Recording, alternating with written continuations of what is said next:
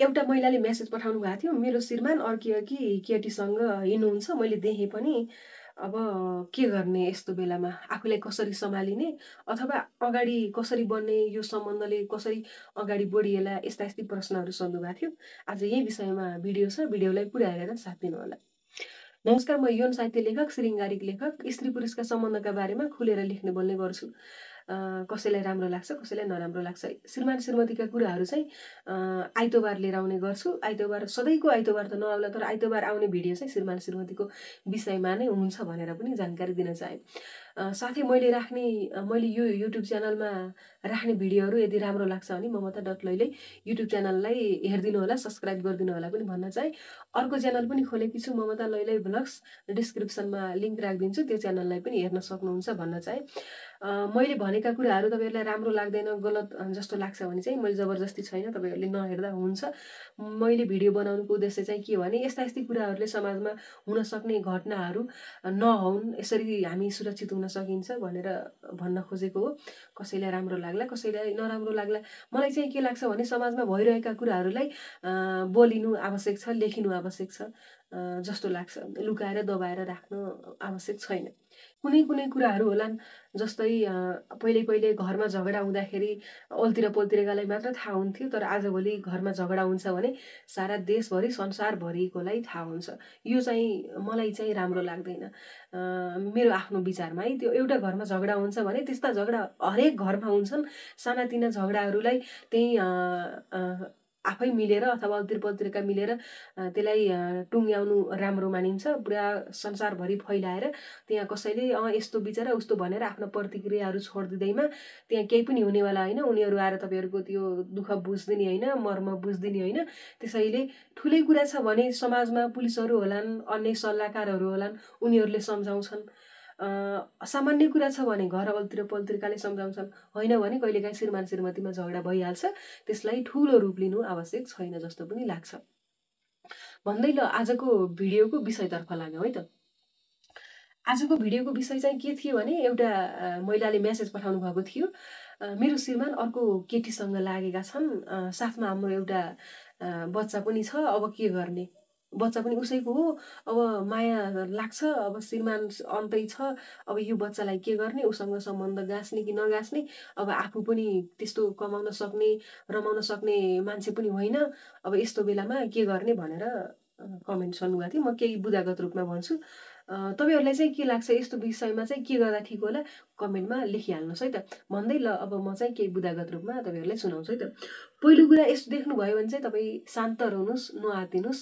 आफूलाई टर्चर दिने टेन्सन दिने डिप्रेसन हुने खालेका डिप्रेस हुने खालका कुरा चाहिँ तपाईँहरू नसोच्नुहोस्। एकछिन रिल्याक्सले बस्नुहोस्। हुन त त्यस्तो घटना घटो आफ्नो जीवनसाथी भनेर आएको एउटा बाउको छोरो अरू केटीहरूसँग अथवा अरू कुनै आइमाईसँग लाग्दाखेरि आफ्नो मनमा बितेको कुराहरू त सम्हालिन गाह्रो होला। तर सम्हाल्नै पर्छ के गर्ने? त्यसैले यस्तो भयो भन्दैमा सिधै आतिने अनि त्यसपछि ल म अब बिस खाएर मरिदिन्छु अथवा म झुन्डेर मरिदिन्छु भनेर त्यस्ता त्यस्ता डिसिजनहरू चाहिँ नलिनुहोस्।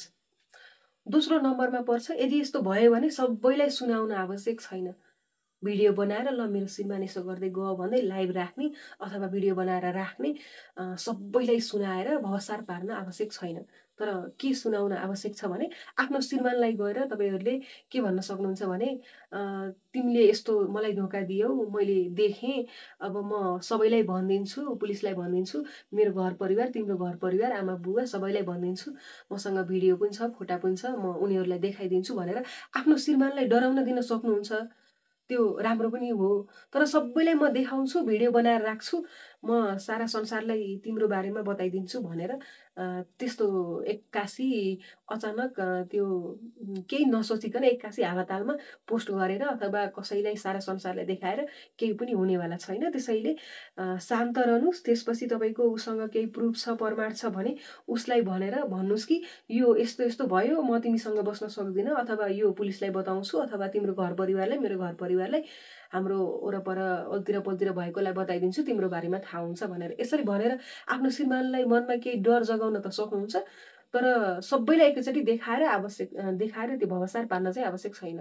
यदि आवश्यक छ भने त्यही अनुसार नै समाजमा पनि त्यस्ता मान्छेहरू छन् जुन यस्ता यस्तै कुराहरूलाई सजिलै टुङ्ग्याउन सक्ने अथवा पुलिस चौकीहरू छ अथवा अन्य कुनै संस्थाहरू होला नि ती संस्थामा गएर भन्नुहोस्। पत्र पत्रिका बोलाएर पुरा त्यो यस्ताउति गर्न चाहिँ आवश्यक छैन। किनकि त्यो तपाईँकै नै श्रीमान हो तपाईँकै बच्चाको बाउ हो भोलि भविष्यमा ती छोराछोरीले तपाईँको बारेमा जानकारी लिए भने चाहिँ उनीहरूलाई नराम्रो लाग्न सक्छ। त्यसैले यो विषयमा पनि ध्यान जाओस्।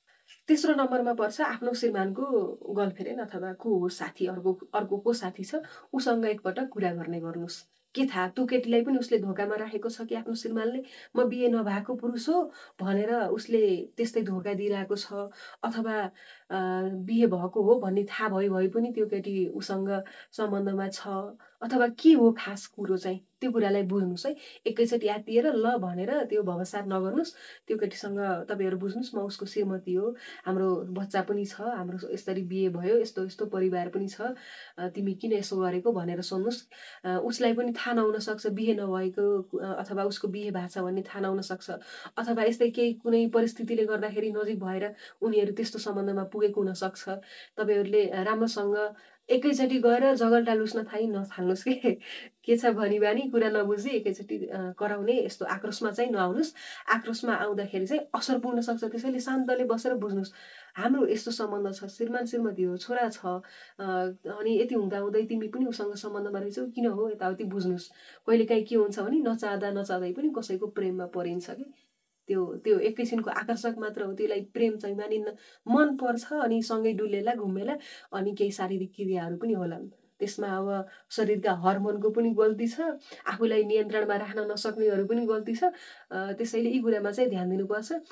त्यसैले आफ्नो श्रीमानको अर्को केटी कोसँग लागेको छ उसँग राम्रोसँग सल्लाह लिनुहोस् यदि यस्तो छ भने पनि ठिकै छ मन हो कहिले काहीँ यस्तो हुन्छ अबदेखि चाहिँ यस्तो नगर भनेर त्यसरी सम्झाउनुहोस् अथवा श्रीमानले पनि धोका दिएको छ उसलाई बिहे गरेको होइन यताउति भनेको छ भने चाहिँ हामी यस्तो श्रीमान श्रीमती हो भनेर उसलाई पनि जानकारी दिनुहोस् र उसलाई पनि केटीलाई पनि उसले धोका दिएको भने तिमी पनि अरू अरूलाई भन्दै नहिँड पुलिस चौकीमा गएर श्रीमानलाई उजुरी गर्ने यताउति नगर। एकचोटिलाई भयो ठिकै छ। अब चाहिँ उस श्रीमानदेखि टाढा बस अथवा तिमी आफ्नो बाटो लाग भनेर चाहिँ भन्नुहोस् किनकि उसलाई पनि श्रीमानले धोका दिएको हो भने चाहिँ।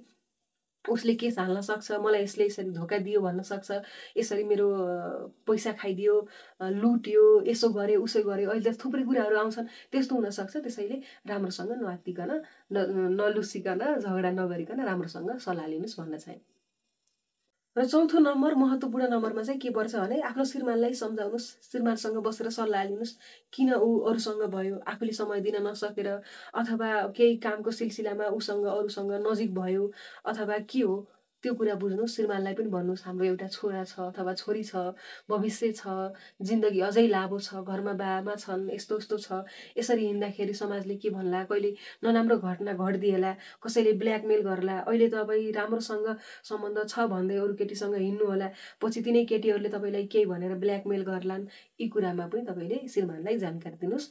यसो गर्दा पनि सम्बन्ध टिक्न सक्छ। भनेर नि भन्न चाहे। के हुन्छ भने सिधै देखियो अब ल उसँग हाई भनेर लिएको भन्दैमा जाने पुरा झगडा गर्ने कराउने भवसार मचाउने यस्तो हुन्छ। समाज समाज हाम्रो शङ्कालु छ। कसैसँग दिदीभाइ हिँड्छन् भने पनि ल केटा र केटी हिँडे भनेर कुरा गर्ने अथवा आफ्नै कसैसँग हिँड्दा पनि त्यस्तो कुरा गर्ने खालको समाज छ।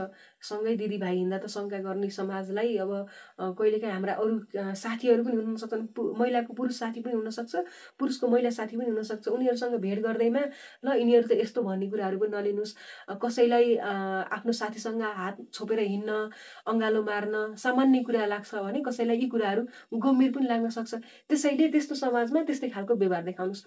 हाम्रा समाजमा गाउँघरतिर आउँदाखेरि तपाईँ कसैसँग आफ्नो श्रीमान नभएर अन्य पुरुषसँग हात समात्दै हिँड्दा शङ्का गर्छ यो समाजमा चाहिँ यस्तो गर्छ यस यो समाजमा चाहिँ हामी नर्मल भएर हिँडौँ न त भन्न पनि सक्नुहुन्छ। सहरमा यो कुरा सामान्य मानिन्छ त्यस्तो भयङ्कर रूपमा चाहिँ लिँदैनन् भने सहरमा ती क्रिया गर्नुहोस् गाउँमा नगर्नुहोस्। जुन समाजले जस्तो खालको गर्छ त्यस्तै खालकोमा हुल मिलाउन सक्नुहोस् आफूलाई नदबाइकन है केही कुराहरू चाहिँ दबाउनु पर्ने दबाई दबाई बस्न चाहिँ नभनेको भनेको होइन है मैले चाहिँ गर्न नहुने क्रियालाई चाहिँ गर्नुहोस् गर्नुहोस् भन्न खोजेको चाहिँ होइन भनेर पनि बुझ्नु होला मैले भन्न खोजेको कुरालाई चाहिँ सकारात्मक तरिकाले लिनु होला।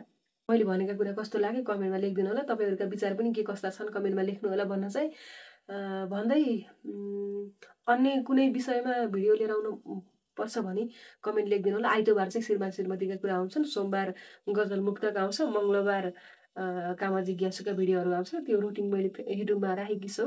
पोस्ट हेर्दै जानुभयो भने चाहिँ तपाईँहरू देख्न सक्नुहुन्छ पनि भन्न चाहिँ भन्दै आजको भिडियोबाट बिदा हुन्छु। हस्त नमस्कार।